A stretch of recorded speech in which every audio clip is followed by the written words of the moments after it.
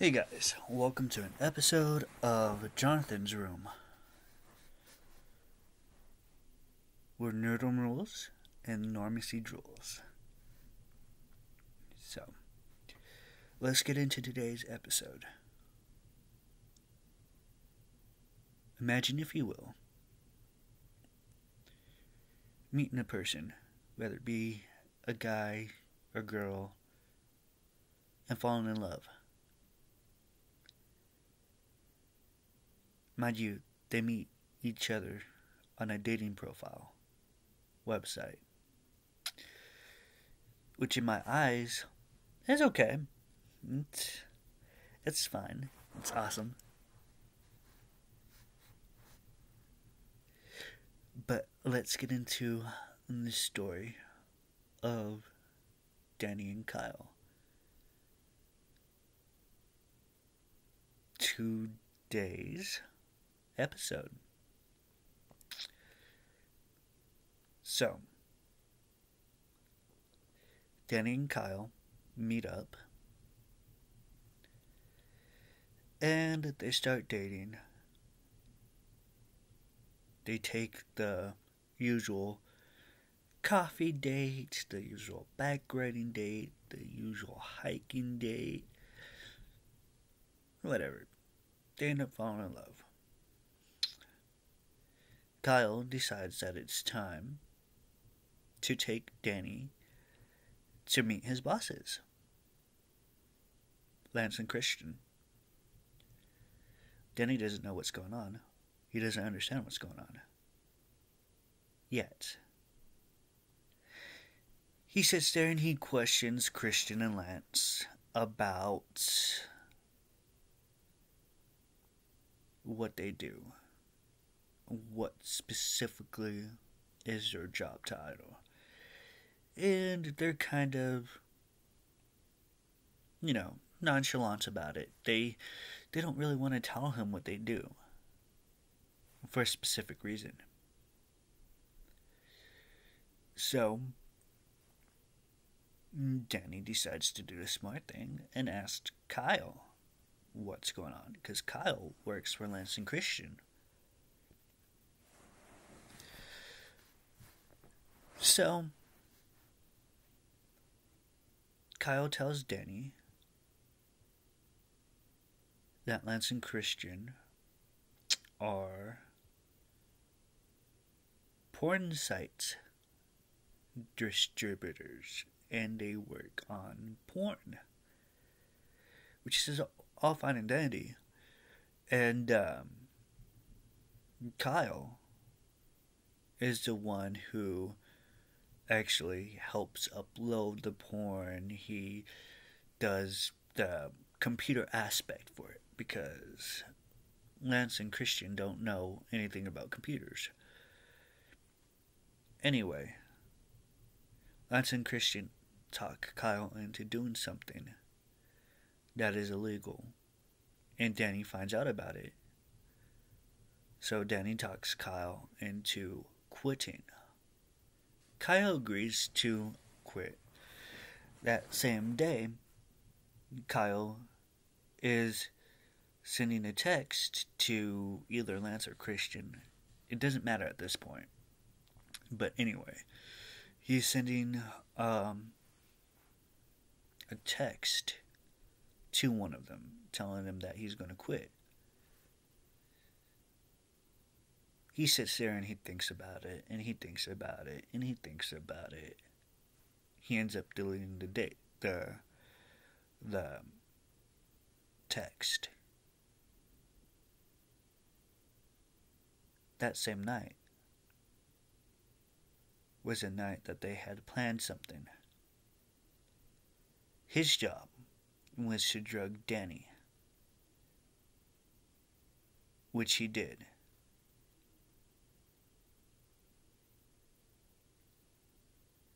Then he was to let in his boss, Ziz, and a camera crew.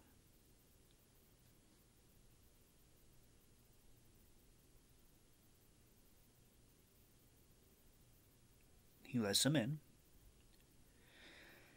And they grab Danny, not in a gentle way, not in a way that you or I would like to be grabbed.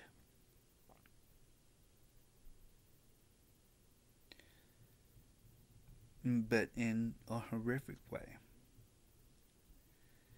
So, they take him upstairs, lay him on the bed, get him naked.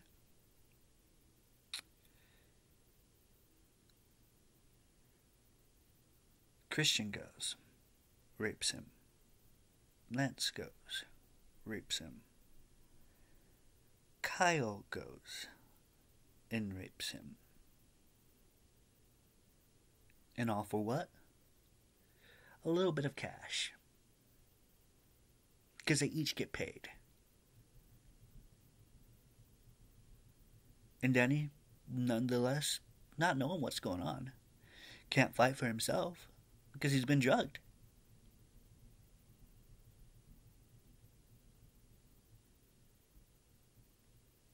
So, Kyle goes, gets paid, starts talking about this big vacation with Danny. And then he gets a call from Christian or Lance. And he tells Danny he has to go. Danny tries to chase after him because he forgot his laptop. Now, for whatever reason, I don't know why, Danny decides to take that laptop, open it up, and is horrified to see what's been uploaded on the internet.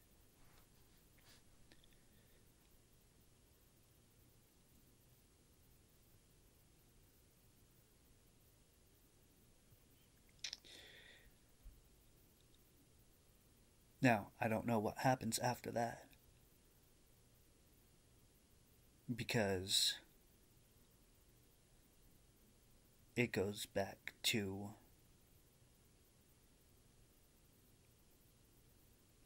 Never mind. Sorry. Anyway, I don't know what happens after that. But one can assume from the movie that he finds a handgun and shoots himself in the head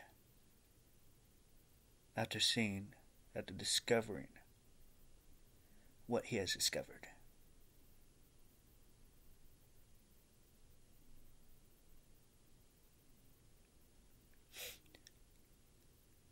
And we can also assume that Kyle goes and finds Danny. And is feeling kind of sorry for himself, feeling kind of sorry for what he did. So, he calls a crisis hotline. Now, I've actually already accidentally made a mistake of saying that this is a movie, which is called Crisis Hotline, directed by Mark Schwab.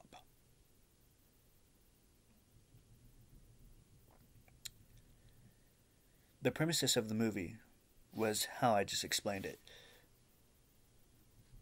But I wanted to get into kind of what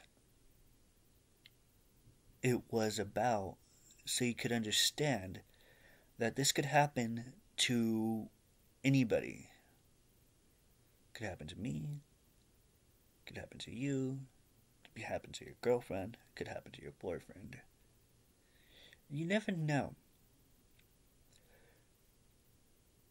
And this movie kind of took me back to a video I did a couple months back, which was the Kevin Bacon video.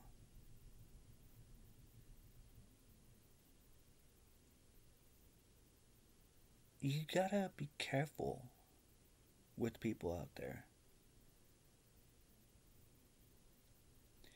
The main character who was talking to Danny slash Kyle, his name was Simon. When we first, or when I first started the movie, Simon was not a character that I related with because Simon was going, Well, this is an LGBT crisis hotline. I get bored with some of the calls that come in. Which for me, that's not what normally a crisis hotline helper is supposed to say. But then when Danny calls, he gets interested, he gets involved. And that's what makes the character of Simon such a good character. Because even though he started off the movie saying, I'm bored, I don't care about some of these situations, at the end of the movie, he asks the number one question that a crisis hotline person has to ask themselves. And there's never an answer. There's never a yes or no answer to what he asked. And that question was Did I do enough? And in the situation that he was in, he had to do enough.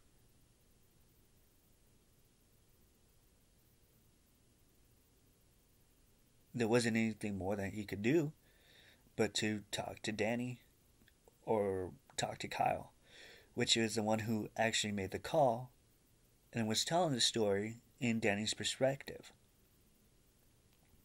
At the end of the movie, Kyle is the one who gets who commits suicide as well. We never know what happened to Lance and Christian, but in my mind, it doesn't really matter because Lance and Christian were not relatively good people. you know, sometimes you choose your profession, and sometimes your profession chooses you. And in this case, they chose their profession. Because they could have said no to raping Danny. All three of them could have said no.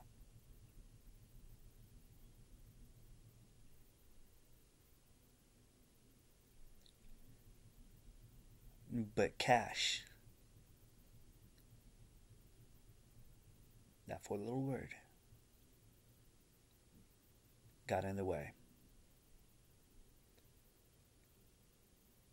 But Kyle's consciousness got to him. He sent all the files that he had.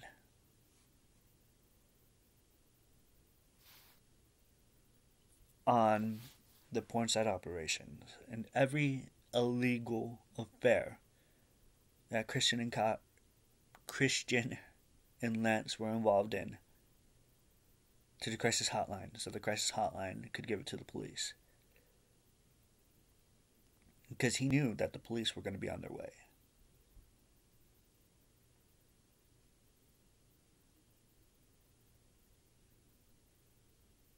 This story could have ended so much differently if Kyle would have just left. Now, I started at the beginning saying that this could be happen to anybody, and it can what happened to Kevin Bacon in Michigan can happen to anybody. Doesn't matter if you're male, female, transgender.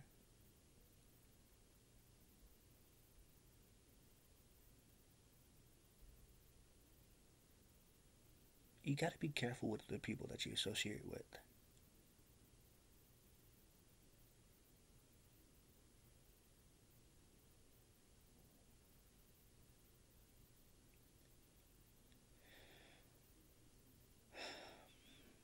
Sometimes I wonder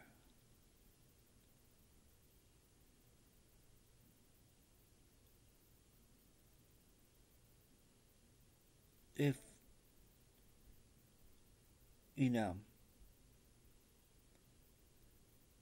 things like a movie or things like real life actually impact people. And I think in this case, in this case, Crisis Hotline, this movie has impacted me. I think if you were to watch it, you would get thinking about things the way that I've been thinking about things as well. And I'm not saying not to trust people. I'm just saying get to know them. If you don't like what they're doing, then leave. Uh, I'm not saying you can't love a person. I'm just saying sometimes, even if you love that person, some of the situations that you can get yourself into, you can't get out of. So sometimes it is better to let that love go one of the philosophies in my life that I've learned is, is if they truly love you, mm, they'll see the errors of the ways, and they'll come back to you.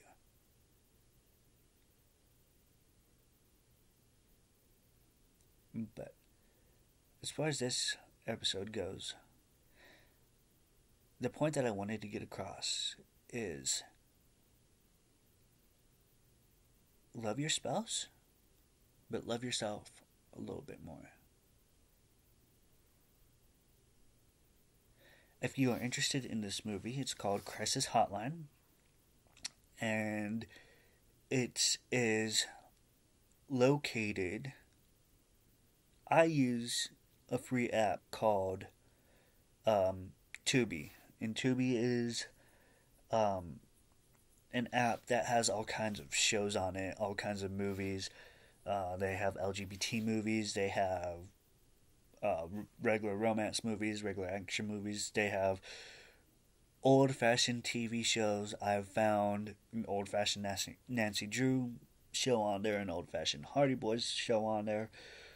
Um, so if you're interested in some old fashioned cartoons, whatever, Tubi is the channel for you to take a look at. It's also um,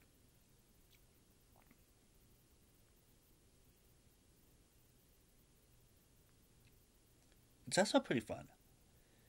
So check it out. If you have an Amazon Fire Stick, all you have to do is go to your apps uh, store or your application thing, or you can go on to search and go to Tubi, and it'll be there. Like I said, it's totally free. Um, and you can watch the movies that are provided on there, the shows that are provided on there. It's pretty fun. Um, so once again, that's Tubi, T U B I. Um, I have recently just activated another Twitter profile. Um, it is under Jonah32 2020. So you can uh, take a look at that. You can also find me on Jonathon's Room, and you can find me on my own personal web page or Facebook page, Jonathon Rodriguez.